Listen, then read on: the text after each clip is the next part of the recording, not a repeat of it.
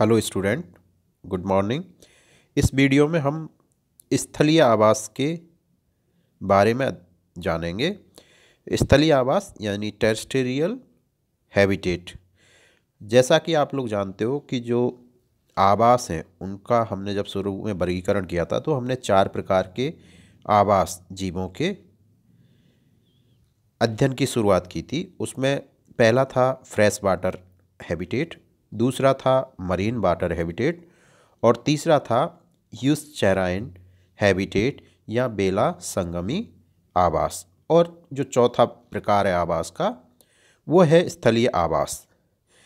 स्थलीय आवास अपने आप में काफ़ी डाइवर्स है, बहुत अलग अलग तरीके का इन्वायरमेंट मिलता है। तो इस वीडियो में हम स्थलीय आवास के बारे में अध्ययन शुरू करते हैं। तो जो टेरेस्टेरियल हैबिटेट है या टेरेस्टेरियल हैबिटेट का जो अध्ययन करने वाली विज्ञान की शाखा है, उसको हम टेरेस्टेरियल कॉन्सेप्ट क्या है? सिद्धांत यह है कि जो टेरेस्टेरियल बायोम्स हैं या जीवोम हैं, वो जलवायु और जो डिस्टरबेंस होता है उसके द्वारा कंट्रोल होते हैं। ये तो है इसका पीछे कॉन्सेप्ट और इसी का हम अध्ययन टेरेस्ट्रियल इकोलॉजी में करते हैं।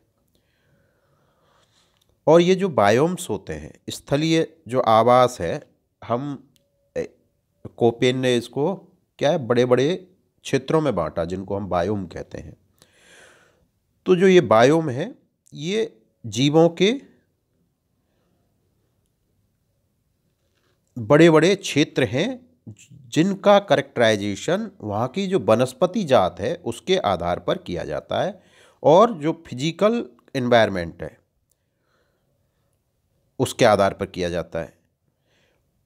और इन जो, ये जो स्थलीय आवास है, टेरेस्टेरियल हैबिटेट है, इसके निर्धारण में जलवायु एक महत्वपूर्ण कारक के तौर पर प्रयुक्त होती है। स्थलीय आवास जीवों का जो विस्तृत अध्ययन है, उसमें ये जितने भी मैदान हैं, पहाड़ हैं, रेगिस्तान हैं, उन सब का अध्ययन किया जाता है। तो स्थल पर रहने वाले जितने भी जीव हैं, उनके आवास का अध्ययन ही स्थलीय आवास के अंतर्गत किया जाता है और इसमें विभिन्न प्रकार के पारिस्थितिक तंत्रों का समावेश होता है। और प्रत्येक जो तंत्र है उसका अपना महत्व होता है। जैसा कि आप लोग जानते हो कि जो भूमंडल है, उसका लगभग तीस प्रतिशत भाग स्थल है और लगभग सत्तर प्रतिशत भाग क्या है? जलीय है, जहाँ पे समुद्र फैले हुए हैं। तो हमारी जो पूरी पृथ्वी है, भूमंडल है, उसका तीस परसेंट भाग स्थल है। और विभिन्न प्रकार की विशिष्ट भौगोलिक परिस्थितियों के कारण जो स्थलीय आवास हैं, उनमें भिन्नताएँ दिखाई देती हैं। स्थलीय क्षेत्र के अंतर्गत हम जैसे वन क्षेत्र देखते हैं, मरुस्थल देखते हैं तो वन क्षेत्र और मरुस्थल दोनों को देखें तो दोनों की जो परिस्थितियाँ हैं, वो अलग है, एकदम भिन्न है।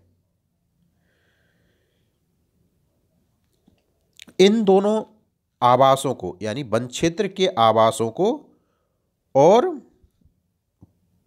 मरुस्थल के जो आवास हैं, उनको बिल्कुल अलग अलग विभेद उनमें किया जा सकता है। तो जीव मंडल में हमने देखा चार प्रकार के आवास होते हैं, एलावणीय आवास या फ्रेश वाटर हैबिटेट, दूसरा समुद्र जलीय आवास या मरीन वाटर हैबिटेट, तीसरा बेलांचली या बेला संगमी आवास या एस्चुराइन हैबिटेट, और चौथा प्रकार जो है वो स्थलीय आवास या टेरेस्टेरियल हैबिटेट है। तो टेरेस्टेरियल हैबिटेट के अंतर्गत अनेक छोटे बड़े परितंत्र पाए जाते हैं, यानी इकोसिस्टम पाए जाते हैं। इनके नाम, उनके सामुदायिक आवास अथवा उनकी जो डोमिनेंट जीवधारियाँ होती हैं, उसके आधार पर होता है। जैसे वन क्षेत्र या वन पारिस्थितिक पारिस्थित, पारितंत्र या फॉरेस्ट इकोसिस्टम जिसको कहते हैं। दूसरा मरुस्थली पारितंत्र या डेजर्ट इकोसिस्टम, ग्रासलैंड इकोसिस्टम, घास भूमि जो परितंत्र होते हैं। और क्रॉप इकोसिस्टम आदि। तो इस तरह से हम जो स्थलीय आवास के जो हैबिटेट हैं, उनको भी फर्दर डिवाइड करते हैं। उनके जो डोमिनेंट जीव होते हैं, उसके आधार पर। ठीक है? तो यदि हम देखें कि जो ये वन क्षेत्र और मरुस्थलीय क्षेत्र हैं, उनकी विशेषताएँ भिन्न भिन्न है, इसलिए इनको हम अलग अलग आवास मान के चलते हैं। जैसे जो वन क्षेत्र हैं, उनकी विशेषताएँ देखेंगे तो क्या होगा? वन क्षेत्र में जल उपस्थित होगा, लेकिन मरुस्थल में जल का अभाव होगा। वन क्षेत्र में वनस्पतियाँ पाई जाएँगी, लेकिन मरुस्थल में वनस्पतियाँ बहुत कम पाई जाएँगी। तापमान वन क्षेत्रों में लगभग स्थिर रहता है सामान्यतः, परंतु जो मरुस्थल होंगे, उनमें अत्यधिक उतार चढ़ाव होगा। रात का टेम्परेचर एकदम डाउन हो जाएगा, दिन का टेम्परेचर ज़्यादा होगा तो उनका यदि दैनिक ताप तापांतर देखेंगे और वार्षिक तापांतर देखेंगे तो मरुस्थलीय क्षेत्रों में ये तापांतर अधिक पाया जाएगा, जबकि जो वन क्षेत्र है, उनमें ये तापांतर है, वो कम होगा। वन क्षेत्र होंगे, उनमें आर्द्रता अधिक पाई जाएगी, जबकि जो मरुस्थलीय क्षेत्र हैं, उनमें आर्द्रता अनुपस्थित होगी। वन क्षेत्र होते हैं, चूँकि ये घने होते हैं, इसलिए इनमें प्रकाश की जो उपलब्धता है, वो भी कम पाई जाती है, जो छोटे पादप हैं, जो बड़े पेड़ों वृक्षों के नीचे होते हैं या घना वन होता है, उसमें प्रकाश की उपलब्धता कम हो जाती है। जबकि जो डेजर्ट हैं, उनमें प्रकाश की उपलब्धता अधिक रहती है। जो वन क्षेत्र होंगे, उनमें मृदा नम होगी, जबकि जो मरुस्थलीय क्षेत्र हैं, उनमें नमी अनुपस्थित होगी। वन क्षेत्रों में वायु का वेग भी कम रहेगा, लेकिन मरुस्थलों में वायु का वेग अधिक रहेगा। तो इस प्रकार से जो वन क्षेत्र और मरुस्थल हैं, उनकी विशेषताएँ आप देख सकते हो कि दोनों की विशेषताएँ एकदम से अलग हैं। इसलिए दोनों ही पारितंत्रों का इकोसिस्टम्स का अध्ययन अलग अलग करते हैं। अब हम बात करते हैं स्थलीय जो आवास है, उसके प्रमुख लक्षण क्या हैं? स्थलीय आवास का जो वर्गीकरण है, स्थलीय आवास एक तो बहुत बेहद आवास है। इसे विभिन्न कारक प्रभावित करते हैं। स्थलीय आवास पर जो स्थलाकृति होती हैं, जलवायु होती है या जो इन्वायरमेंट का इफ़ेक्ट होता है, वो पड़ता है। जलीय आवास की तुलना में यहाँ रहने वाले जीवों को जल की भी कमी का सामना करना पड़ता है। यही नहीं, जो ये क्षेत्र होते हैं, इनमें बहुत सारे जैसे पर्वत वगैरह हैं ये अवरोध उत्पन्न करते हैं, जंतुओं के स्वतंत्र विचरण को प्रभावित करते हैं। तो स्थलीय इस तरह से स्थलीय जो आवास है, उसके लक्षणों को हम देखें।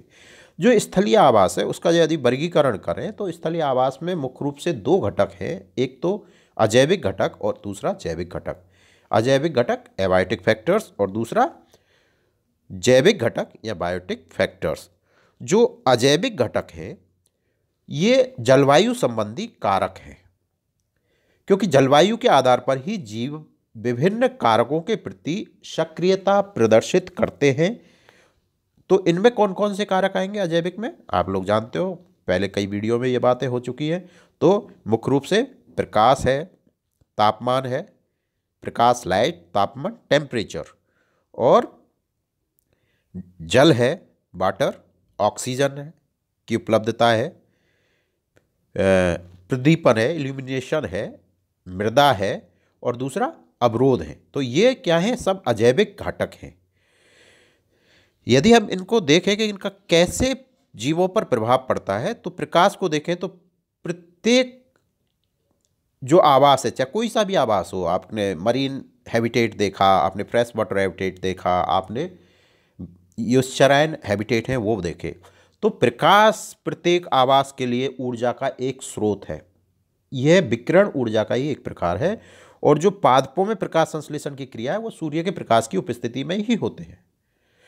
इसलिए जो समस्त जीव हैं या जंतु हैं, प्रत्यक्ष या परोक्ष रूप से प्रकाश पर निर्भर रहते हैं और उससे प्रभावित भी होते हैं। जलीय आवास की तुलना में जो स्थलीय आवास है, उसमें प्रकाश अधिक मात्रा में उपलब्ध होता है और इसका लाभ इन जीवों को मिलता भी है।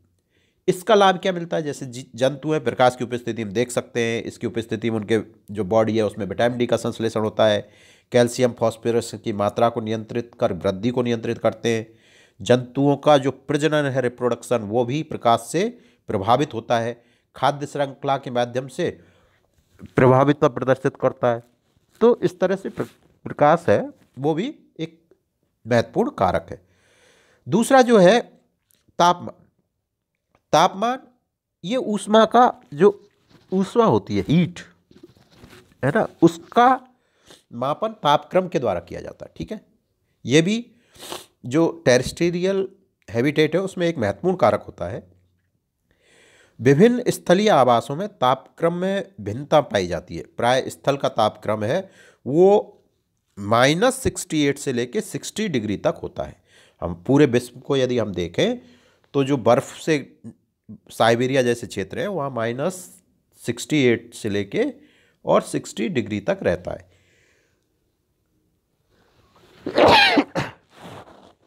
स्थलीय जो आवास है, वो जीव अपनी जो, जीवों की जो उपापचयी क्रियाएँ मेटाबॉलिक जो एक्टिविटीज़ होती हैं, उनको बनाए रखने के लिए ये तापक्रम है, इसका उच्च स्तर बनाए रखना होता है।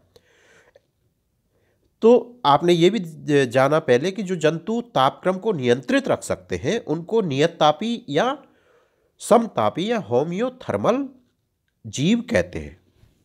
जबकि वे जंतु जो वातावरण तापक्रम के आधार पर ताप स्थायी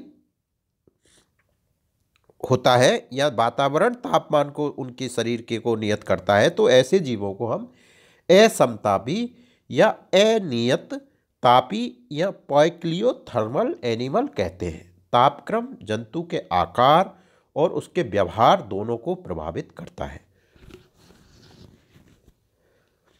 तीसरा जो कारक है वो है जल वाटर।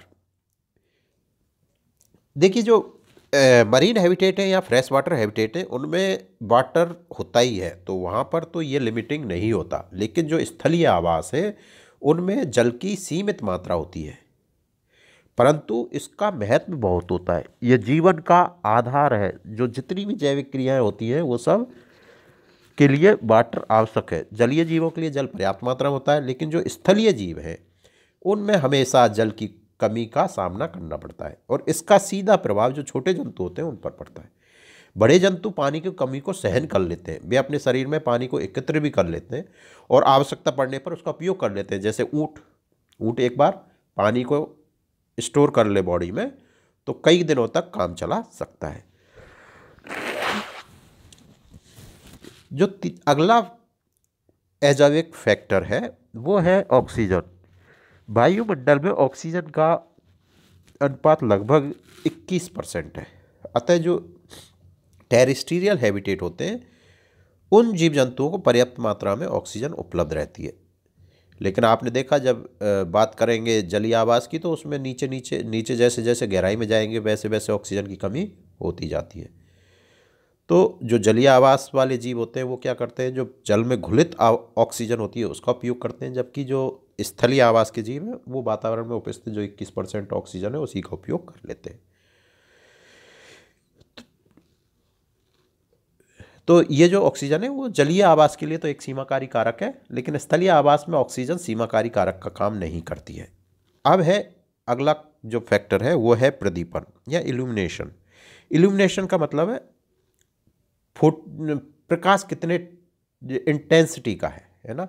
जिससे जो दीप्तकालिता का पौधे और जंतु दोनों पर फ़ोटो प्रियोडिज्म जैसे कहते हैं, प्रकाश कितनी देर उपलब्ध होता है तो इसका प्रभाव जो जंतु और पौधे होते हैं, दोनों पर ही पड़ता है। जंतुओं की जो अधिकांश गतिविधियाँ हैं, वो प्रदीपन पर निर्भर करती हैं। ये जंतुओं को पहचानने, छिपने, स्वयं की रक्षा, अर्थात बचाव करने में भी सहायक होती हैं। अगला जो महत्वपूर्ण कारक है, वो है मृदा। स्थलीय आवासों के लिए मृदा है, वो एक बेस प्रदान करती है। इसकी जो फ़िज़िकल और केमिकल स्ट्रक्चर होती है, उसका डायरेक्ट इफ़ेक्ट वहाँ के एनिमल और प्लांट्स पर पड़ता है, उनकी क्रियाओं पर पड़ता है। इसमें जो पोषक तत्व होते हैं या जो कार्बनिक पदार्थ पाए जाते हैं, वो उन जंतुओं को और पादपों को प्रभावित करते हैं। अतः जो भिन्न भिन्न प्रकार की मृदा हैं उनमें भिन्न भिन्न प्रकार की वनस्पतियाँ पाई जाएँगी और उसी के आधार पर भिन्न भिन्न प्रकार के जंतु पाए जाएँगे। अजैविक घटकों में अगला जो घटक है, वो है अवरोध। जो भौगोलिक अवरोध है, उनके कारण स्थलीय जो प्राणी है, उनका जो माइग्रेशन है और डिस्ट्रीब्यूशन है, वो प्रभावित होता है। तो अवरोध भी जंतुओं के डिस्ट्रीब्यूशन पर इफ़ेक्ट डालते हैं। तो स्थलीय आवास का जो दूसरा भाग है, वो क्या है? उसके जैविक कारक हैं या बायोटिक फैक्टर्स हैं। स्थलीय आवास में रहने वाले जंतु विभिन्न प्रकार से पोषण करते हैं और पोषण के स्वभाव के आधार पर ही उनको क्लासिफाई किया जाता है। जैसे परजीवी, परपोषी, परवक्षी आदि के मध्य रहने पर भी जो जैव समुदाय होता है, जंतु समुदाय होता है, उसकी रचना निर्भर करती है। तो जैविक कारकों को यदि हम बांटें तो तीन भागों में बांट सकते हैं। स्वयपोषी विषमपोषी और इसकी व्यंजर या अपमार्जक ऑटोट्रॉफ्स जो होते हैं, वो स्थलीय आवास पर पाए जाने वाले समस्त हरे पादप हैं, वो जो कि प्रकाश संश्लेषण के द्वारा भोजन बनाते हैं, इसलिए स्वयपोषी कहलाते हैं या प्राथमिक उत्पादक कहलाते हैं। प्रकाश संश्लेषण की क्रिया द्वारा ये ऑक्सीजन के पुनर्भरण में भी सहयोग करते हैं और मृदा का जो क्षरण है, उसको भी रोकने का कार्य करते हैं। दूसरे प्रकार के जो जैविक कारक हैं, वो हैं विषमपोषी ऐसे प्राणी जो पोषण के लिए दूसरे जीवों पर आधारित रहते हैं, वो क्या कहलाते हैं? विषमपोषी कहलाते हैं। और इनको फिर फर्दर हम दो भागों में वर्गीकृत करते हैं। शाकाहारी या हार्बीवोरस स्थलीय आवास पर इनकी संख्या सबसे ज़्यादा होती है। ये पोषण के लिए किस पर निर्भर करते हैं? पादपों पर निर्भर करते हैं। दूसरा, मांसाहारी या कार्निवोरस, ऐसे जंतु जो दूसरे जंतुओं को भोजन के रूप में प्रयोग करते हैं, मांसाहारी जंतु कहलाते हैं। ठीक है?